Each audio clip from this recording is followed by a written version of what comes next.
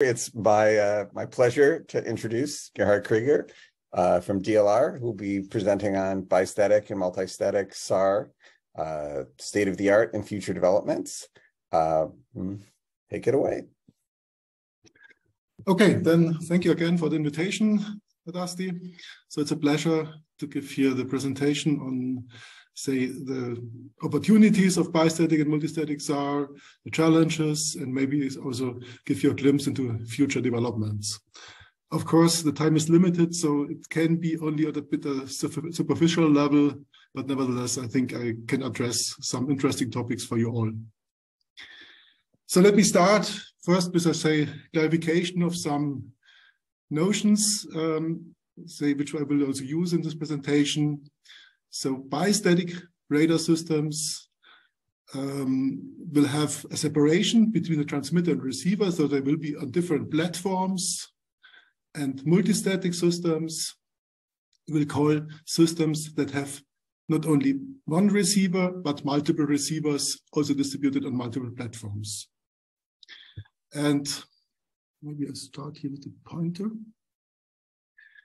Okay, and say these kind of bistatic and multistatic systems can be further um, say distinguished into fully active systems. So here each satellite or each platform has both transmit and receive capabilities. And examples are here Tandem X, TechSat 21 or Tandem R. And semi-active systems, here we have one dedicated transmitter and one or more passive receivers.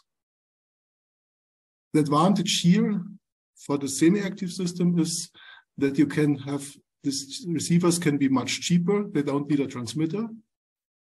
On the other hand, you have, of, of course, um, trouble, for example, if the transmitter fails. So you're de dependent on the transmitter. You don't have here redundancy. In the case of the fully active system, if one satellite fails, you have still maybe these other two here in this case. So you're not completely lost. So each of these configuration has its pros and cons. Okay, when we talk about bistatic and multistatic SAR, we have in mind, of course, all these opportunities that arise from separation of the transmitter and receiver satellites. And on this slide, you see just some examples, which I will, be, will address also some of them I will address in more detail within this presentation. And maybe the on start, let me start on the upper left. So here we have multistatic SAR imaging, so we can um, see the say the reflected wave from the ground, not only in, in the um, direction of transmission, but also in many other directions. And I will address this in more detail later on. Another opportunity is cross-track interferometry, for example, to generate high resolution digital elevation models on a global scale. We can use along-track interferometry to measure, for example, currents on the, on the ocean or some other movements. We can um, also detect, um, observe traffic with moving target indication by using multiple satellites in a bistatic configuration. We can um, use the system for frequent monitoring, for wide swath imaging. We can also use super resolution techniques to um, acquire more information about scatterers and to enhance the resolution by this. We can even implement SAR tomography in space, and there are many, many opportunities here listed on the right. And um, so you will see some examples in the presentation in more detail. But this should give you a first glimpse about the manifold opportunities you have with bistatic and multistatic synthetic aperture radar. Say on this slide, you see just a small subset of mission, multistatic missions that have been proposed or implemented. So here you see on the upper left, TechSat 21, which was one of the first multistatic SAR missions proposed in 2000. So uh, this is a fully active configuration with eight satellites in this case. And the main, there, there were many goals of these missions, but the main objective was um, coherent location on, of objects. Then there was from Italy the so-called BISSAT proposal. So this, the idea was to have a, a semi-active system. The idea was to have um, the COSMO-SkyMed, SkyMed satellite X-band radar satellite, illuminating a scene, and to collect the scattered waves with a, um, with a passive receiver here. And the goal were also many many different bistatic observations, for example, also radargrammetry.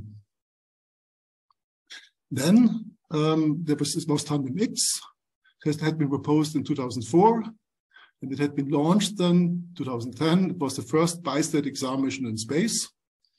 And so it was, it was a fully active system with two almost identical satellites flying in close formation. The main objective here is, was, is and was to acquire global digital elevation model with high unprecedented resolution. Then there was another proposal from, from Germany, the so-called Tandem L mission. This was an L-band SAR with two satellites, very powerful satellites that employ also digital beamforming. You have here these large reflectors, the diameter 15 meters. So um, with the system, you can really map the, the whole Earth interferometrically on a weekly basis. Then there was from, from China the launch of Lutan 1. It's an L-band tandem configuration. Um, and say this is maybe the um, also a, a, very interesting system. And we're looking forward to see the first first uh, results from this mission, and, and probably in the next conferences. And then there's another proposal. It's Harmony. It's for the Earth Explorer 10.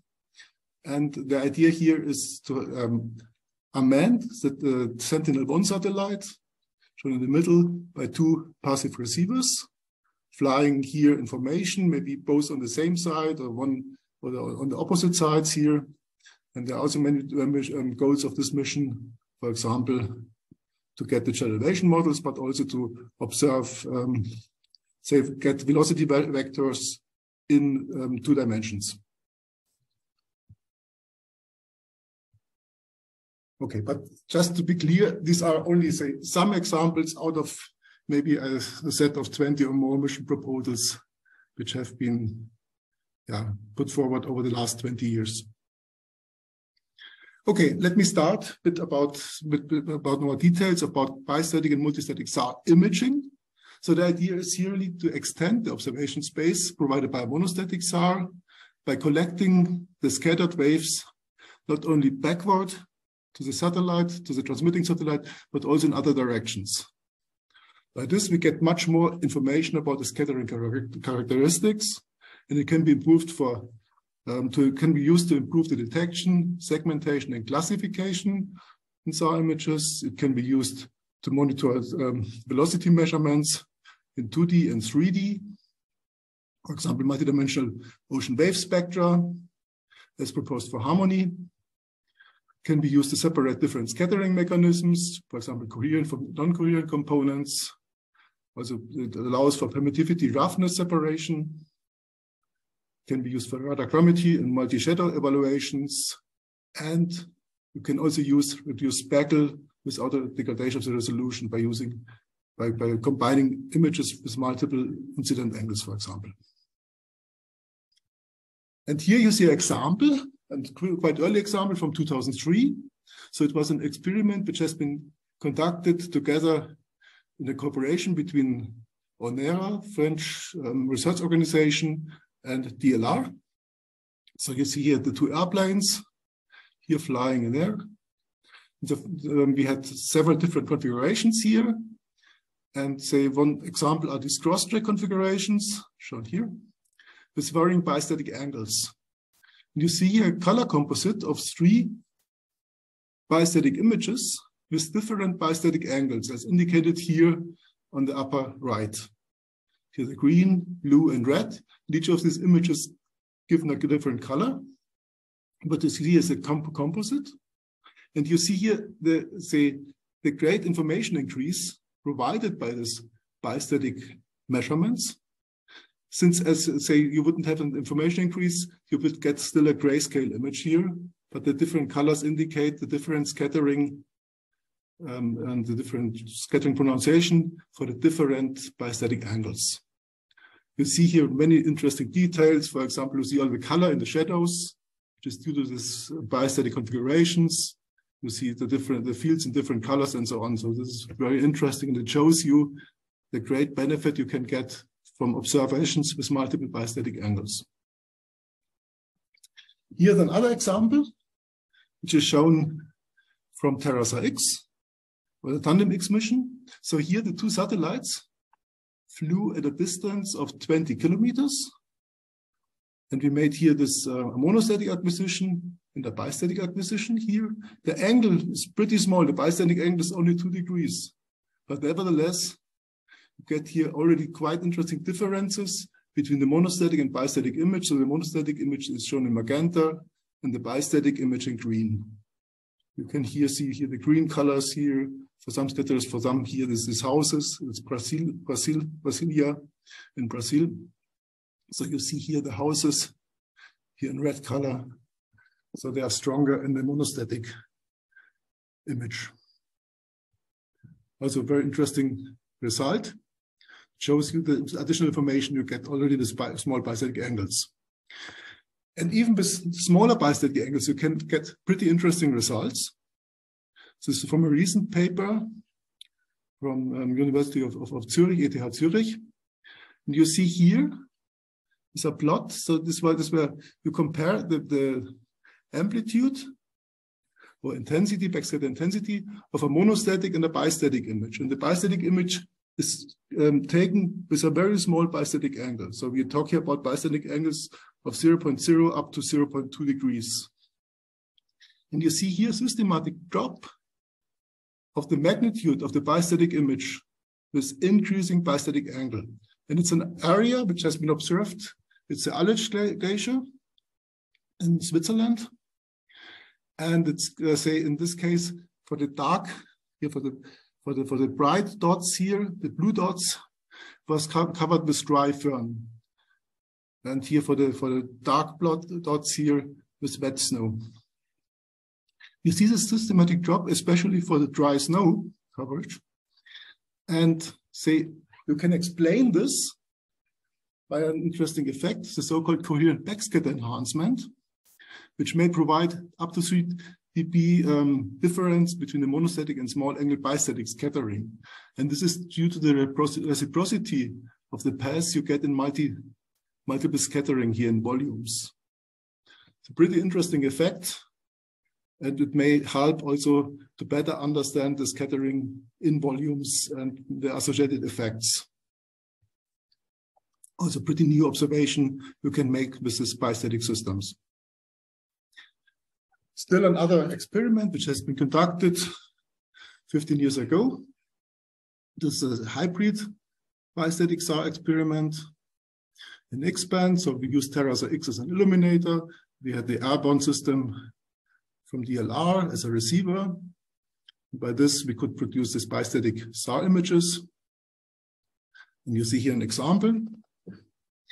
So here, this is bistatic image.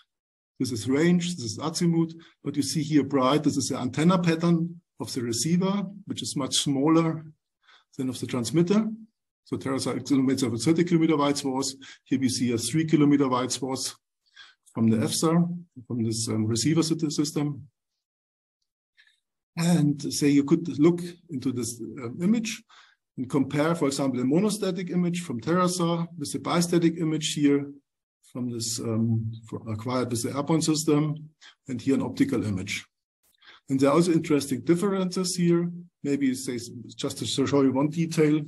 Here you see a fence in a monostatic image. It's a metal fence. And you don't see it in the bistatic image here. It's completely absent. And this is just to the uh, to the double bounce scattering here in the monostatic image and which is very directive. In the bistatic, it's absent here. It's just one, um, say, example what you can see, what is the difference between the monostatic and bistatic imaging, but in the bistatic image, you see other details, which are also pretty interesting. Okay, good. This gives you maybe a first hint, say what you can do um, with bistatic systems for maybe multi-angular imaging. Another opportunity is single pass cross-track interferometry. For this, let me just recall the basic principle.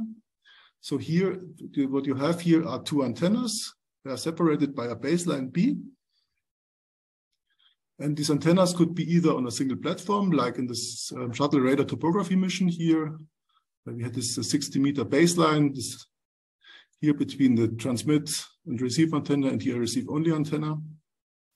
Or the two antennas could be on two satellites, here separated by this baseline B. Here the advantage is that it's very flexible to select this baseline. I could also use larger baselines than the 60 meters here. And what is, if you think now about a point on the ground, you have maybe these two ranges. And if you have a different height here and keep the range here from the um, here constant for the first receiving antenna here, same range. You will observe for the second antenna different range here. And this range difference here is directly proportional to the height here, delta H. And this you can measure, say, with an accuracy, with a millimetric accuracy in the SAR system by exploiting interferometry. And it's clear that the, as the larger the baseline becomes, the more change you have here, that is the more sensitive you will be to height changes. Okay, one mission which uses this principle is Tandem-X. So it was the first bistatic SAR mission in space, launched in 2010. So the first satellite had already been launched in 2007, second satellite in 2010. And since then, I acquire bistatic data on a global scale. The main goal is the acquisition of a global digital elevation model with unprecedented accuracy, but there are also several other demonstrations of innovative bistatic imaging techniques and applications.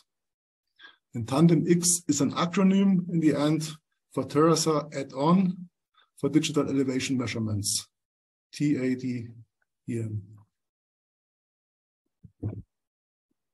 Okay, the data acquisition in Tandem-X can in principle be made in several different modes. Three are shown here. So we could have a so-called pulsed monostatic mode. So that the two satellites operate independently of each other, but they have to be separated by several kilometers in order to avoid mutual interferences. You can use the bistatic mode. Here one satellite transmits and both receive simultaneously or you can use the um, alternating bistatic mode. Now here, one satellite transmits, both receive, and then next pulse, the other satellite transmits, both receive, then, then again, the first satellite transmits, both receive, and so on. And each of these modes has its advantages and disadvantages. And say maybe the simplest mode would be the pulsed monostatic mode with the separation here.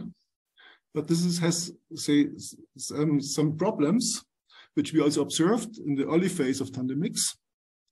So here, what you see are three times acquisitions of a digital elevation model. Here, and what you see here is the coherence. So white means good. It's a high coherence, close to one. Black means low coherence, close to zero. Since here, say, if you have a black area, it's difficult to, to get a DEM and the accuracy would be, would be pretty poor. And these acquisitions were made here um, say, uh, say um, several several cycles separated here, but with different, very very similar acquisition geometries. And you see here that even already with a small distance between satellites of only 20 kilometers, you can have for some periods of, of time, you can have poor conditions here due to wind and maybe also due to, to rain. And say by this, um, say you get here this decorrelation effect, this temporal decorrelation effect, and this makes it really difficult to get a um, high resolution DEM. And you can only avoid this if you have a, a closer, a longer distance here, not 20 kilometers, but maybe only a few hundred meters. And for this, you need the bistatic mode. So here, only one satellite transmits, both receive. You have the additional advantage that you need only one transmitter, so you make a dual use of the signal energy, which was also important in Tandem-X. But the great uh, challenge here is that you need really a good synchronization between the satellites. And we'll talk about synchronization later on. But first, I would like to show you some results. You see here is a global digital elevation model, which has been acquired by Tandem-X between 2010 and 2015. So the horizontal resolution is 12 by 12 meters, and the vertical accuracy is one meter. Typically, in some areas, is only uh, two meters. It depends a bit on the terrain type. But a very good accuracy, well within the specifications which we had before. And it has really a high quality, um, which say is also now used by many scientists worldwide. And you can not only acquire digital, one digital elevation model with a system like TandemX, but you can also monitor height changes. So what you see here is an example of the rice grow in an area between Greece and Turkey. At the border at uh, Greece and Turkey. And you see how the rice, rice paddies here, you see the grow of the rice over a season. So it's here roughly a season of, of, of a few months. Here you see how the height changes, maybe from zero, zero meter up to 1.4 meters. It's pretty interesting as an observation, uh, say where, where you can use this, uh, say, single pass bistatic interferometric systems. Another example you can see here. It's, uh, say, an area in Alberta, Canada. It's an, oil, uh, an area where, where, you, um, where oil sand, sand mining is um, performed. And you see here the changes. So this is 2012. So topography here goes from roughly 230 meters up to 370 meters. And um, you see here this topography 2012 and then 2016. You see how the changes from 2012 to 2016, then 2018 and 2021. So also here, these changes are very interesting to observe and they can be used also for several purposes. Still another example. So here you see on a larger scale, the height changes observed with tandem X over the northern Patagonian ice field. So there are changes between 2012 and 2016. So the see is the elevation change rate in meters per year. So the scale goes from minus 10 meters up to plus 10 meters here. And you see here this changes with minus 10 meters here every year. So it's a dramatic loss of ice, which can be observed here. And such data are also very interesting, of course, in the context of climate change studies and the impact. And you can do even more by adding a polarization. So what you see here is a polarimetric SAR, SAR uh, say, what you see here is, say, the height changes you would observe by changing the polarization. Here, by say, changing polarization, you see different heights of the phase center. Since you have different scattering properties, you have for one polarization, you're more close to the ground. With maybe the, the cross polarization, cross polarized components, you're more close to the, say, to the top of a vegetation layer. And this can be observed. And just one example here, also for tandem X, is here, it was only a dual polarized acquisition. You see here the difference between the horizontal and vertical polarization. And also here you can observe height differences in the order um, between zero meter and three meter in these examples. Okay, another option is along-track interferometry and ground moving target indication. The basic idea here is that you have two observations separated in time. So here you measure first a range to a scatterer here R, and if the scatterer moves, and you have a second measurement, then you get here a, a, a, a, longer range in this example. And from this, you can then derive the velocity of the scatterer. And this has, for example, been used to observe tidal currents. In this example here, it's an area in um, the northern mainland of Scotland. And, uh, and there is, uh, say, this um, water strait, where you can see here this, this velocities here observed with tandem X here on uh, here in the direction um, downward direction, downward range direction. So away from the radar and the upward range, range direction towards the radar at two different times. So these are tidal currents and they flow in different directions depending on the tidal um, position. Another example here observed um, with tandem X um, uh, in the east of Greenland. So it's this, uh, say, are these ice floes what you observe here. So this, the, ice floes move on the on the on the um, sea, and what you see here are the fringes here, and they are not due to the linear movement, but to, due to a rotation of these ice floes. So the fringe rate here gives you indication of the rotation, and to show you the sensitivity you can get here, um, is you get here, these are the estimated ice rotation in two seconds, here with very small decrease. Here, so what you can measure, in, in fact, is an accuracy of 10, 10 raised to the power of minus 5 degrees per second. Or you could also say there's a single rotation of such an ice floe within one year, and you can measure it only in with three seconds time difference. Also, this shows you the power of interferometry and the sensitivity you can get here. Another example is traffic monitoring. So you can have a first SAR image, then a second delayed SAR image.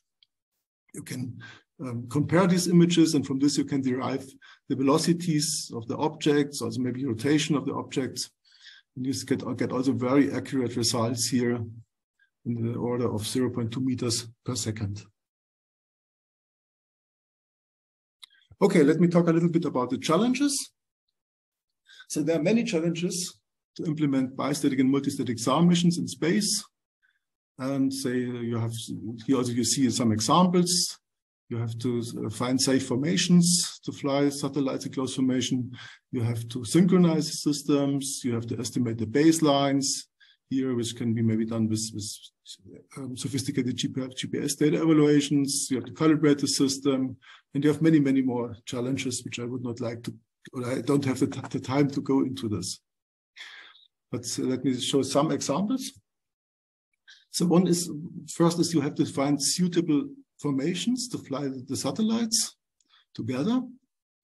And what you see here is uh, an early proposal, already say from 1989, by Philipp Hartl and also from Howard Zebker, 1992, the so-called pendulum.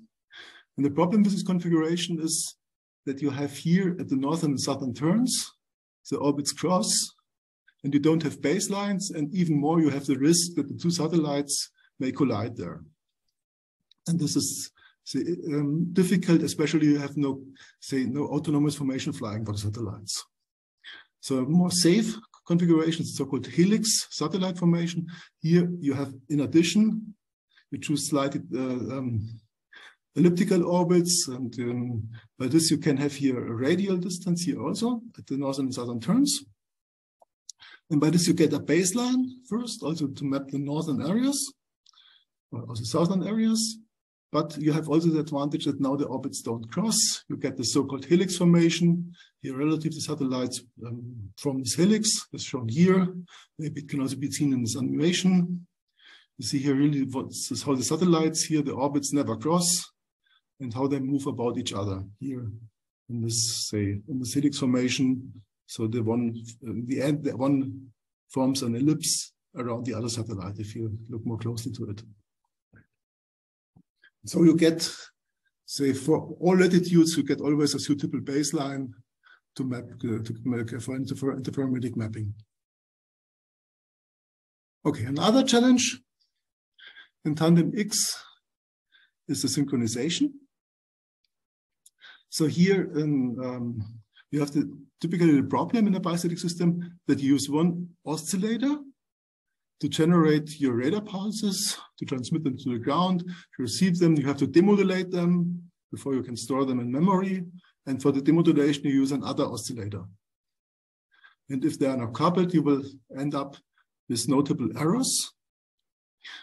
And um, say, in order to avoid this problem, um, there have been proposed many different solutions, some of which you see on this and the next slide.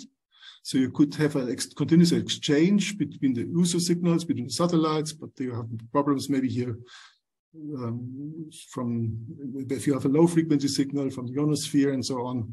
So there could, can be several problems here. Another proposal was the exchange of radar pulses between the satellites. Um, this has also been used in tandem X. You can use, say, very stable oscillators, so-called hyperstable oscillators, and then um, have some ground control points, then you could also resolve this issue of the synchronization. You could have uh, this so-called alternating transmit mode. I had introduced this shortly before. You could have first one satellite transmits, then both receive, then the other satellites transmits, both receive, and so on. By this, you can also achieve a synchronization of the system. And then there are some more sophisticated solutions. You could um, um, make your synchronization based on, say, GNSS data. So you have you observe the wave fields in the end of, of the G, uh, GNSS data, and by, by, an appropriate evaluation, you can get both uh, precise baseline, but also um, you can synchronize the time here with high accuracy. There are solutions in a MIMO um, system where you can exploit the wave number shift, as illustrated here. There is also, say, some database synchronization technique, which has been developed by Marc Rodriguez Cassola at DLR. So it's here, say, the idea to use some sub-apertures and combine them in the end, and from this to get a database synchronization. And there's also a proposal, another proposal from DLR, the so-called MirrorSAR. We'll talk about this a little bit later. Okay, in TanDEM-X, so we used this um, exchange of radar pulses for synchronization. You see here on the right the performance estimation what we had. So it depends how often you exchange the synchronization pulses between the satellites. But say what we had predicted is roughly that we would get phase errors in the order of a degree or so from this synchronization scheme. And what we got in the very beginning was not this one degree, but we got, say, much higher errors. So you see here this undulations of a digital elevation model which has been acquired over Salar de Uyuni in Bolivia. So it's a flat area. And you see here in the digital elevation model, these waves here. So this is azimuth direction, this is range direction, and you see here these waves. And these are due to, uh, say, some errors in the synchronization. You can see them even more clearly in the interferogram.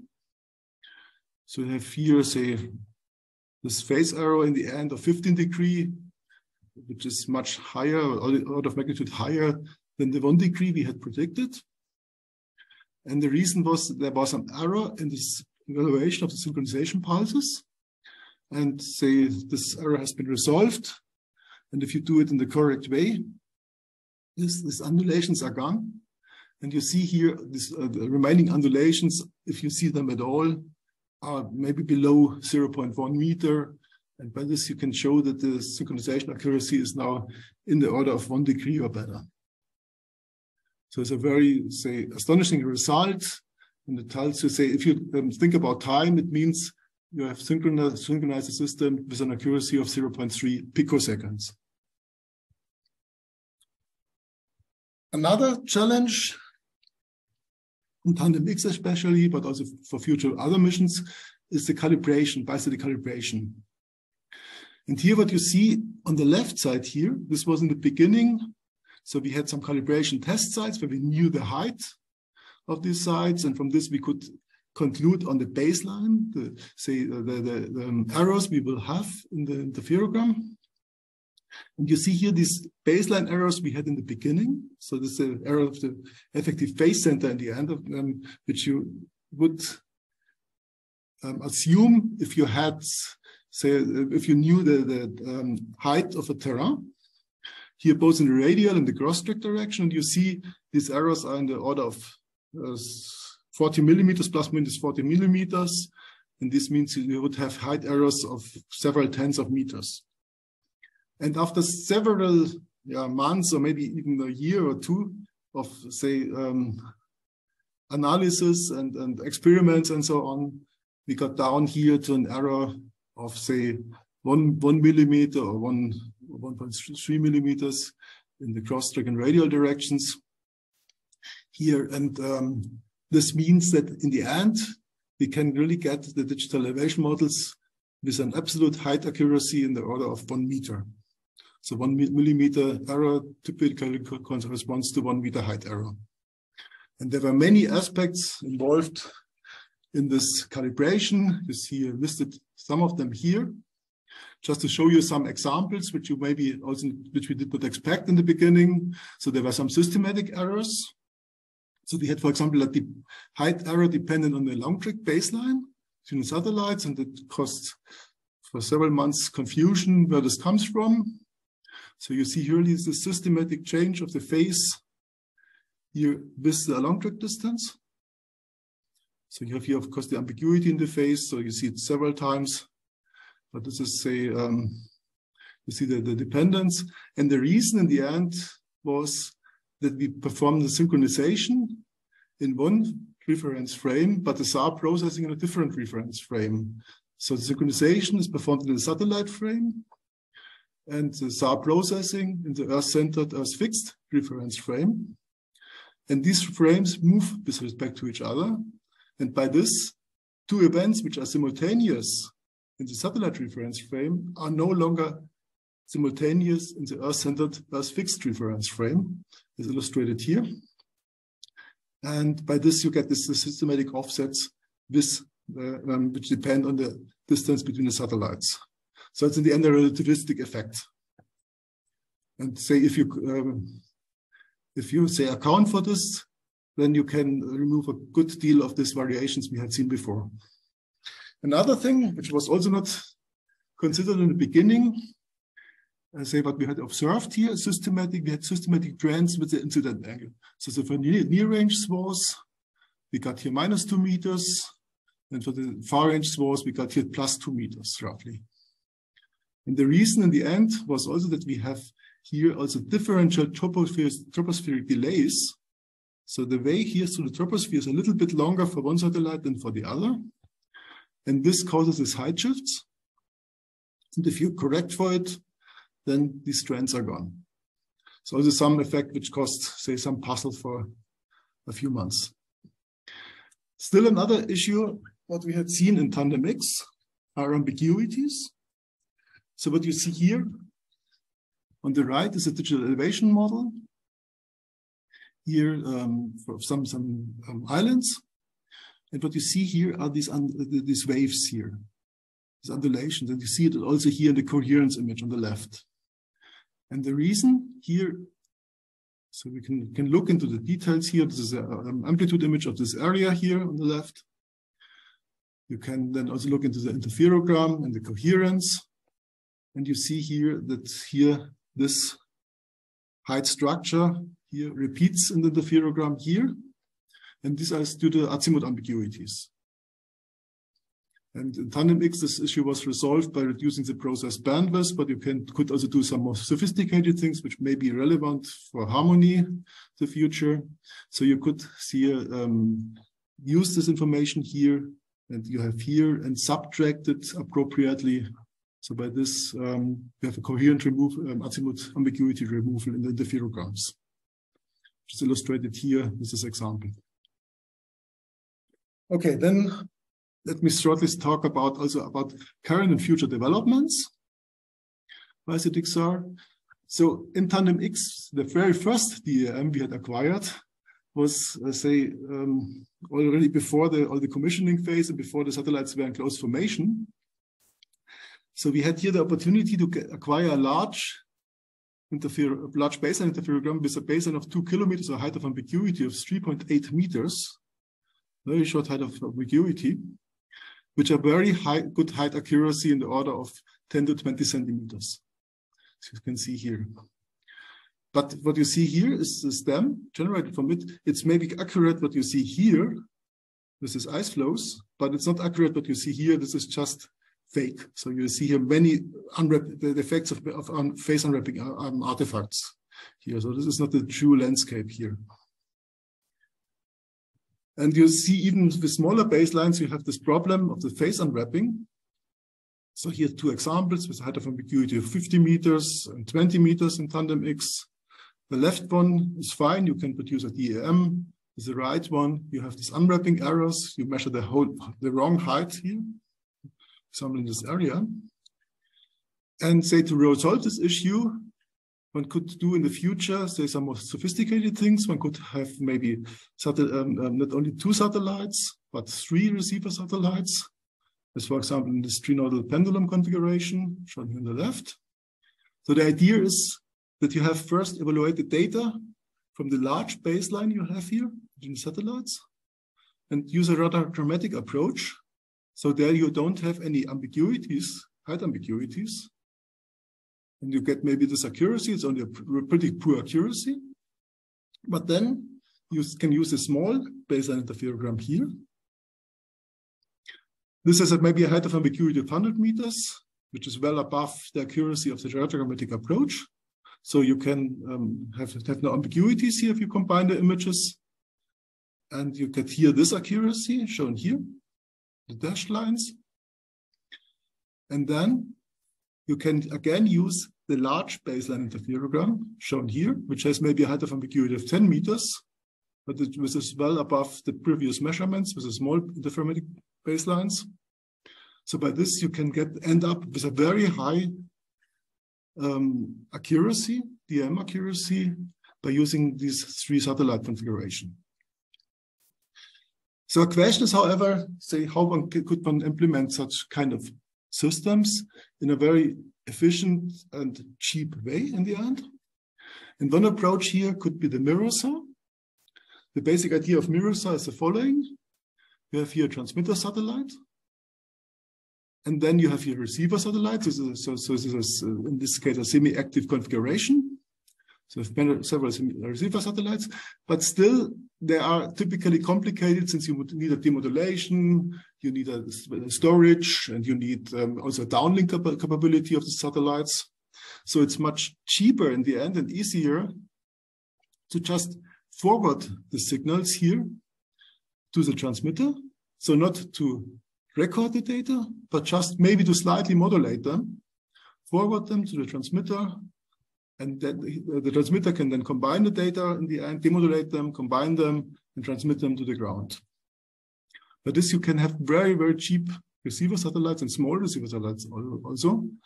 And you could even um, um, add redundancy to the system by having some spare satellites here.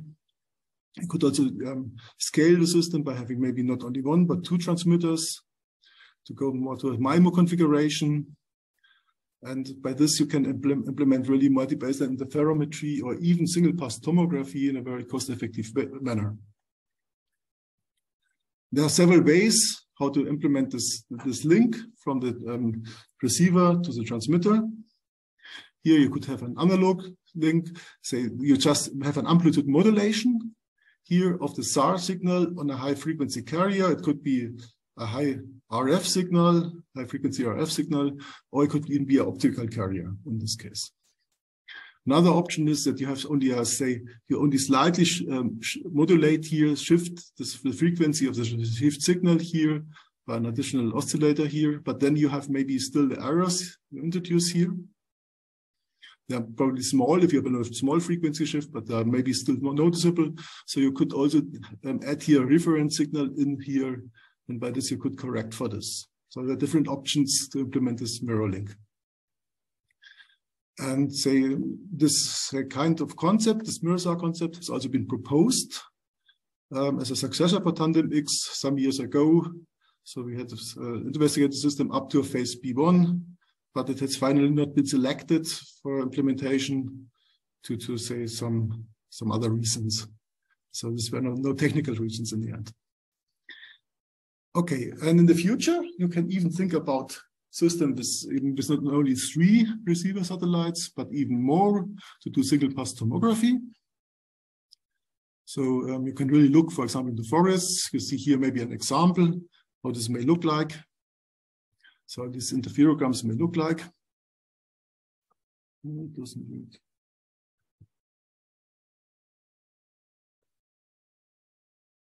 So you see here an area, a forest in the end, and some meadows. And you see here really, say in the forest, you can clearly see the vertical structure. You see the ground here. Say are, they have a, different polarization here um, indicated by the color. And these are really unique data, which have in this case been acquired with our airborne radar system of DLR. So these are many monostatic acquisitions here. And say, if you have this monostatic acquisitions, typically what you get, uh, say, if uh, you get also returns from direct scattering, but also from double bounce, for example, from the trees. And what you have here is typically, say, you get the effective phase center, which is here just um, at, the, at, at this point here, this example. And it's in the end the same for all acquisitions. If you have this double bounce scattering here. If you have a bistatic configuration, say if you have one transmitter, multiple simultaneous receivers, situation looks a bit different. So you have here the situation, you transmit, get user reflection from the ground, reflection from this building in this case. And what you estimate then with the receivers is the direction of this point here. And if you would then interpret this as a single scatterer, you would say, okay, I have a scatterer from this direction here with this range. So you have a misinterpretation here. But you, what you measure here, you could, it's also the reverse path here. The same happens in this direction here. You get also a point here. So you would estimate, say, um, in this situation here, you would get, a, say, say, a tomogram like this one here, for this configuration. So um, in this case, the virtual phase center approximation that you typically do, so you say this is equivalent to a set of monostatic acquisitions. This approximation fails in this case of um, double or multiple bounce scattering. What you can do, in, maybe also in the future, you can have multiple transmitters and receivers here, simultaneously transmitting. So you go to a MIMO radar. And you have the MIMO SAR tomography. And by this, you have the great advantage, in this case, in such a MIMO system here, distributed MIMO system, you can form both the receive beam and the transmit beam. And the interesting thing is you can also form the transmit beam a posteriori, that is after you have acquired the data. So by this, you can form, for example, a transmit beam in this direction after still, from the data you have acquired, a posteriori you transmit in this direction, receive in this direction. And by this, you can separate different scattering mechanisms. And you can, by this, re um, reconstruct here really the, say, the scene in this case. There are also some other options in the future, say distributed SAR imaging. You would maybe like to map very wide swaths with high resolution. So you could use, say, many receivers flying in the same track, so no, no interferometry or so at all here. It's just to um, avoid ambiguities if you use a low PRF. Or you could have a high PRF with range ambiguities and suppress these range ambiguities by multiple um, satellites displaced in the cross-track direction here. And both concepts can be used for high resolution wide swath imaging in the future. And they have, this has also been demonstrated with TanDEM-X, the first demonstration.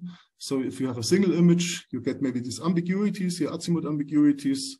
If you combine the images from multiple satellites or multiple phase centers here, you can avoid these ambiguities, get here the, the only the original scatterer in the end. And this has also been demonstrated with uh, TanDEM-X. So here you see an image acquired with a single satellite here with, uh, say, a low PRF. So if you have azimuth ambiguities, azimuth is in this direction, the vertical direction. You see here how the land repeats to the azimuth ambiguities. So you can use the phase centers from the single satellite to phase centers. So this becomes improves. You can also use the phase centers from the two satellites. Here also ambiguity, ambiguities are reduced. And if you combine all phase centers, you have here an optimum ambiguity suppression. But still what remains challenging is here you have still an ambiguity, this case. And this is due to the fact that here this ice floe moves during the acquisition, which is not considered in the reconstruction process. So if, since you have here this temporal distance between the acquisitions, a movement will not, will say, impede this, this reconstruction in this case. And you have to do a more sophisticated processing. And in the long term, you may even think of to, to combine the wide swath techniques in linear beamforming here for suppression of range and azimuth ambiguities and go to SAR interferometry and tomography together at the same time. So the whole idea is to combine this ambiguity suppression, for example, the azimuth ambiguity suppression with cross-track interferometry or tomography. Say that, um, and the goal is that you can implement such systems with small distributed antennas. And what is still, say, there's still some work has to be done is to combine these two approaches in an optimum manner in order to really come with a uh, come up with a distributed SAR system for tomography and multi-baseline interferometry for high and together with high resolution wide swath imaging. By this, you can then really observe on a global scale phenomena in forests, ice, snow, permafrost soils, and monitor really the 3D internal structure changes. Okay, then thank you for attention. I hope you have got a, a uh, first impression what you can do with bistatic and multistatic SAR and also say what are the challenges and maybe also what are the current and future developments. Thank you very much for your attention. Wonderful. Thank you so much for taking time. We have some questions in the chat. If you'd rather ask your questions verbally, you can raise your virtual hand. So uh, the first question that was entered in the chat is how is it possible to estimate ship velocity in both range and cross range directions simultaneously? Mostly researchers consider one at a time. Okay. Um, so maybe we go back to this example.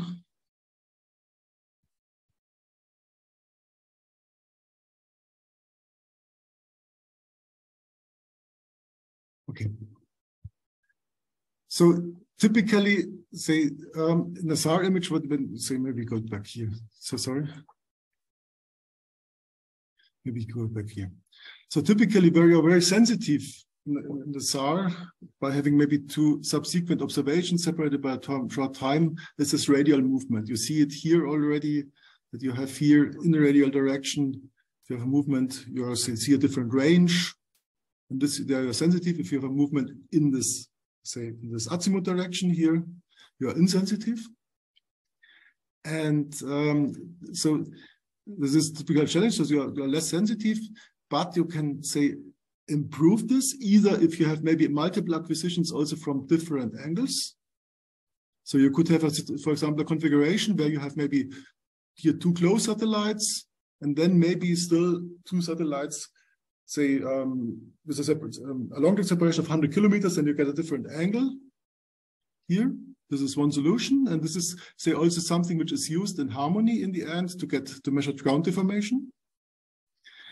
Um, the other say opportunity is also you can of course see what you have here. If you have along-track movement, you measure have a different Doppler rate. And by this, you can also get a, say, a cross estimate of the along-track velocity but it's say it's more it's less accurate than what you get what you get here with interferometry. Great. The next question says, many thanks for your very interesting lecture. Do you have any comments on using pseudo noise ranging techniques relying on the TT&C subsystem to enforce coherency among SAR payloads in a multi-static configuration? Um, yes. So one can use this, this, this noise waveforms. This is, um, I agree. The, the point is, um, they, they have often been um, also said by, by using noise waveforms, you can also have maybe use multiple transmitters simultaneously. And you can then say correlate with the individual signals, and by this can implement some some kind of MIMO configuration. Um, the problem is this is this works typically perfectly if you have point-like scatterers. So if you would like, for example, the, the, um, monitor the ocean um, um, and see ships, I'm pretty sure it will work fine. But if you have distributed targets, the noise you generate from the other waveforms will always appear again in, in, in the image. So it will, will, for distributed targets, it will be difficult to separate the signals from these um, waveforms. But in the end, so noise is, uh, say, if you do not intend this MIMO applications, it is for me, it could be used in the end. So it's, um, I don't have objections. And it's maybe also an interesting topic for the future to really combine, for example, as a communication signals with, um, with uh, radar signals to use, uh, say, to have a kind of dual use here. Great. Uh, another question is a little more specific and it asks what kind of phase preserving modulation is used? Okay, so um, what is meant here, yeah, it refers to the mirror saw.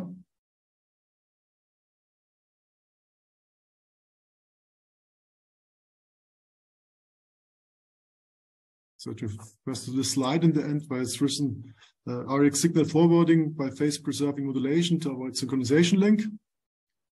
And it's really, say one option is here really shown in the, on this slide. So what is here really, you have the RF signal from the ground that you see here. And then one way is really to modulate this signal on a high frequency carrier.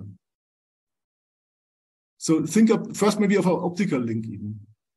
Then of course you don't have, say the phase of this carrier doesn't matter at all phase, whether it's red light or green light or whether it's a shifts even doesn't matter. You make us, it's really an amplitude modulation here. But it could also be a high frequency RF signal. So if you're L band, use here Ka band, this would work as well. And you have only to detect, detect the envelope. So by this, you don't introduce an error here with, if you have here phase errors from the carrier. Right.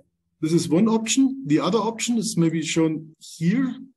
There you, you have maybe here acquired a signal, say in X band, and then you would have many receivers, so you cannot simply forward it. You have to shift it in frequency in order to separate the signals from different receivers. So you could have a small modulation. This, of course, is adds less sensitive, uh, less errors than if you would have a complete demodulation, for example. So it's maybe only a shift by, by, by a few hundred megahertz but still there may, may remain errors and then you have maybe to think about say some solutions to resolve this error as it has been suggested here that I introduce say, still a reference signal. Maybe this has become a bit more clear. So the first first one is a really say I think you are insensitive to the to the error. So it's a phase preserving link in the end. Wonderful. I think we have time for one more, which is great because we had one more in the chat. And it says, in case you want to introduce passive SAR CubeSats in an already existing SAR illuminator, where the illuminator has no ISL, only communicates to the ground, how would you propose to communicate and synch uh, a communication and synchronization architecture? Also, if with the passive SAR CubeSats, you want to do both the long tracking and cross track interferometry, how would you propose the formation of the structure of the orbit? So I guess those are two pretty separate questions, but from the same person. Okay, good. I, I think I need some time to, to read the question and understand it clearly. So, um,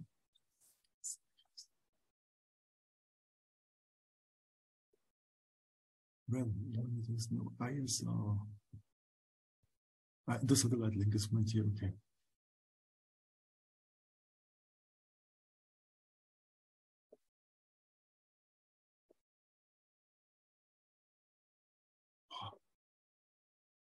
Uh, so maybe see in this case it, it's of course difficult but maybe you can um, you can try to to record the signals from the transmitter to get say some from side lobes or so. It depends on the antenna um, structure. And then the other thing is um, you can, of course, also try to do then some sophisticated processing um, of the SAR data. So in the SAR data, there is information on this phase. So this is a systematic error in the SAR images and interferograms. And for example, in this auto-sync approach, which I had shortly mentioned, which is also demonstrated by my colleague um, Marco Rodriguez Cassola, you could maybe also have then say some option to to avoid the phase errors there. Well, great. We have hit the hour and should give everyone, you know, time to move on to their next thing. But thank you again for making time to present here. I'll remind everyone that this is every month at this time. Uh, we currently have speakers lined up, I think, through September. Um, but if you are interested in giving a presentation or know someone who you would like to, uh, please tell them to either respond to the e email uh, announcing this or to contact me directly. Thanks again.